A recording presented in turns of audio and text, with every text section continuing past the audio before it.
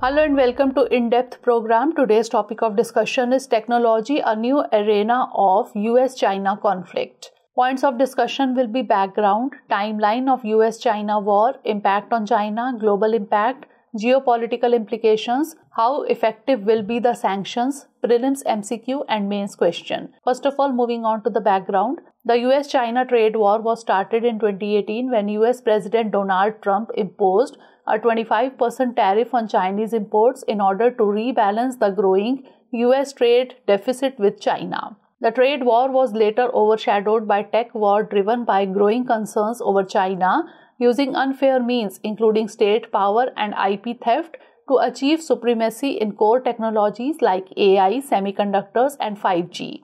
It morphed into a battle for leadership in core technologies like 5G, artificial intelligence, and semiconductors.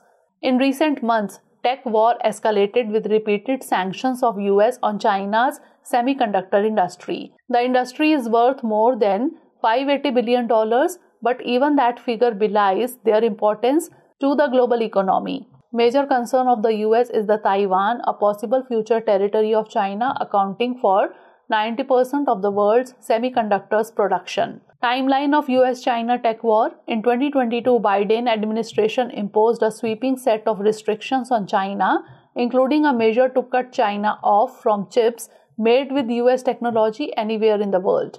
In March the Netherlands joined the agreement with the US and Japan to restrict the export of advanced chip making technology. On May 23rd, China prohibited buying of semiconductor chips from US company Micron by critical infrastructure companies.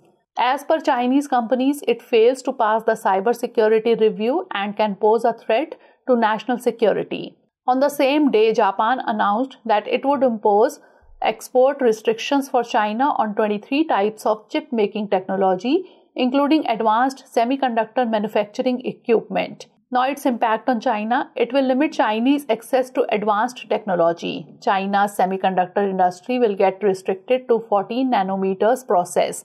Nanometer determine the advancement in technology with 3 nanometers used in smartphones and 28 nanometers or above used in vehicles and household electronic. The semiconductor value chain is dominated by the US, Japan, South Korea, Taiwan, and the Netherlands, who are US allies. Thus, Chinese semiconductor industry will be affected. Sanctions by Japan will impact a lot of related industries and manufacturers that produce consumer electronics. In the first three months of 2023, China's chip imports declined by 23% compared with the same period in the previous year. Global implications Global economy already crippled by COVID 19 slowdown and Ukraine crisis will be affected. Disruption of semiconductor value chain and it can lead to development geopolitical grouping in technological arena. US technology industry might be impacted by repeated imposition of sanctions as China may find an alternative or may develop self-sufficiency. South Korea's semiconductor industry might be impacted as it will not receive funding from US for its semiconductor manufacturing units in China. How effective will be the sanctions? Measures taken by US will not be sustainable in long term as most companies investing in the US also have strong business interest in China. Move can backfire as China may find an alternative to USA and Japan or maybe develop self-sufficiency. Now moving on to prelims MCQ. Consider the following statements. 1. Semiconductor industry is mostly concentrated in China. 2. India Semiconductor Mission is an initiative under Department of Science and Technology. Which of the statements given is or are correct? One only, two only, both one and two, or neither one nor two. And now mains question.